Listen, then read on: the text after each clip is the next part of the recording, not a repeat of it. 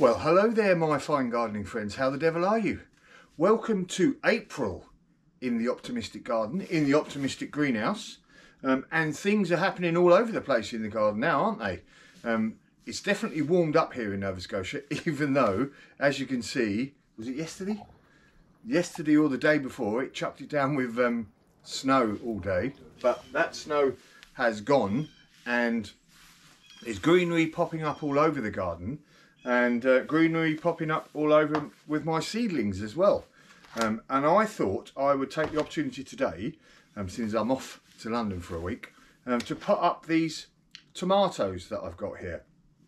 Um, uh, they're a bit floppy because I've just watered them, um, but they've they've they've germinated in no time, and uh, as you can see, the true leaves have come through. The first set of true leaves, um, and that's when you want to pot them up because this uh, leaf mould not got much in the way of nutrients. It was good enough for it to uh, germinate the plants and feed it for the first, you know, couple of weeks. And it's been a, a few weeks. Uh, but really, I want to get them potted up into, uh, you know, some new pots with some compost that's got a bit of a bit of oomph in it now normally I'd probably leave them, uh, you know, a little bit longer, but as I say, I'm away doing a bit of uh, doing a bit of work, so I thought I would pot these up now, and, and I'm going to pot them up into my usual plastic cups. And you might say, well, they're, they're a bit big, Steve, but you know, I, I, I've found just potting them up in these straight away, and then and then I don't have to pot them up again until I actually put them into the ground. So I'm not disturbing the roots etc give them any extra shock. And, and, and it normally does well. Now as you may or may not know if you've uh, watched my videos before or you're just a knowledgeable gardener um, tomatoes grow roots all the way up the stem here.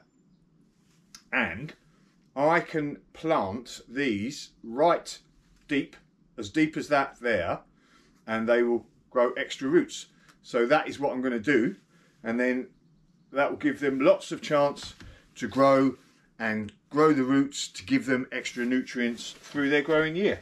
This is just ordinary potting compost. Um, I'm not precious in what I, I use. Um, I don't have to, you know, I don't believe in all that seedling compost, etc., paying extra. So all I'm going to do, oh, I'll tell you what, so these have come up really well in a couple of weeks.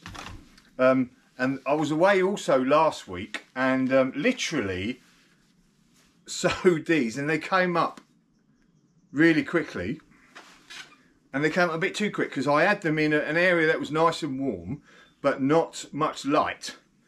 And um, as you can see they've what they do is if they germinate and there's no light they will reach up to see if they can find some light. And uh, they they went a bit they went a bit mad in in in just a few days. The these other ones are chilies and obviously they took a bit longer to germinate so they germinated when I put them in the light so they're okay. I might actually pot a few of these ones up just to see how they sort of recover or if they recover. Because um, again tomatoes I can plant them right up all the way up there so we'll have a little look but the rest of them I'll probably chuck and re-sow these were cherries and some Black Krim of which I've already sown some other ones anyway. So let's get to the good ones at least. So all I'm going to do is just reach under and then I don't want to grab the stems, I want to grab the leaves if I'm going to grab anything. Then I might just grab that. So there we go, there's a little weed there. So all I'm going to do is put my finger in as deep as it will go, give it a wiggle, Just push this down,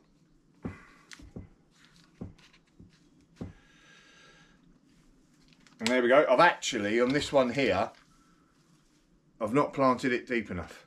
So I'll put a bit more compost around the top. Let's try the next one and try make a better effort of it. Right, so let's lever this out. Right, let's make a good hole. Big hole.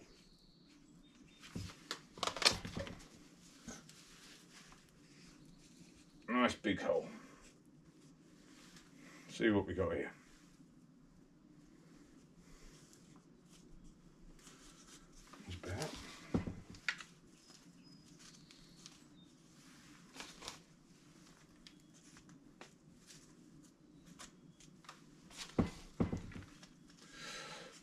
There we go. What still, again, I'm going to put a bit more compost in there because, you know, I need enough so that I can put some water in but I want to make sure that I use all of the, the stem here with the leaves, etc.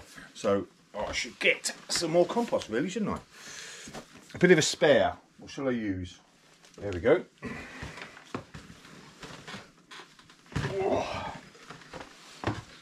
Right, what ones are these anyway? Let's have a look here. We've got, these are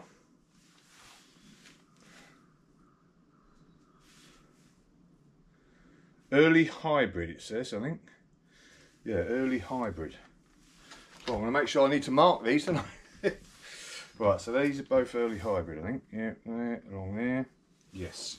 That's why they've come up, because they're nice and early. Right, where's my stick gone?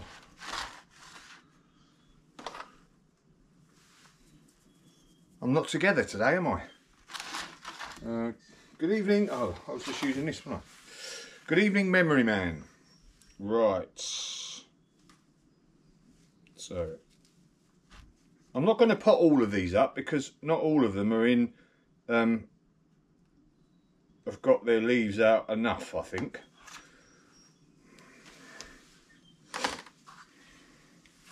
See, that's amazing, the, um, the roots and that, and that's just after a couple of weeks.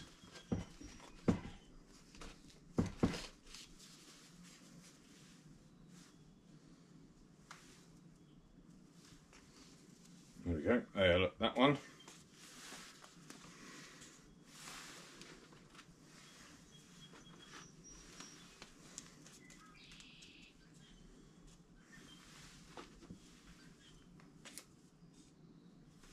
Right, so as you can see there, I've virtually covered the whole stem. So that's what we want to do. And then we'll get roots growing all the way up there, giving that a bit of extra strength.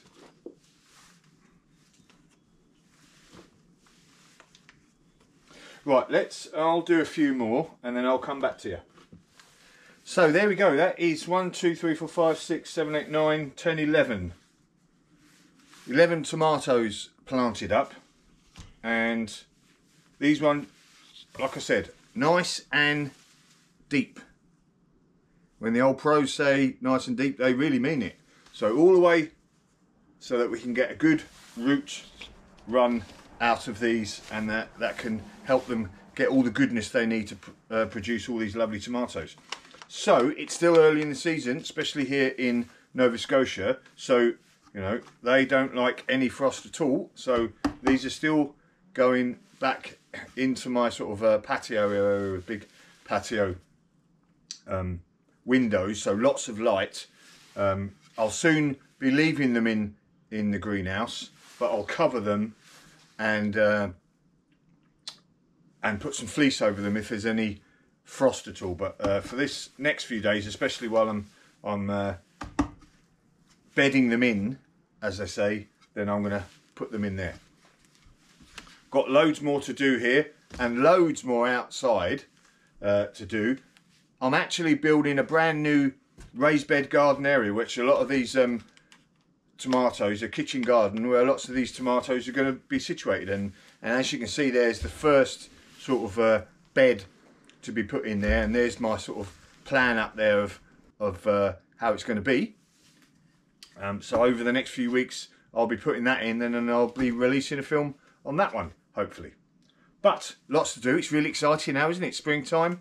Um, lots more seeds to do. I've got a, a seed video to do for April. That'll be coming out in a moment as well. Um, but, you know, everything you haven't sown so far, um, wait for melons, not melons, uh, for things like cucumbers and squash, wait till right, right late in this month because they really like a bit of warmth. So they won't do anything um, until it's, you know, up in the 70s type stuff. So uh, there we go. Tomatoes on the way, and lots more to be uh, to be uh, to be potted up too. So hopefully a, a, good harvest this year. Bad harvest last year, so let's hope um, I'll, I'll put a bit more effort in, and hopefully we'll get some good ones this year. Job is a good one.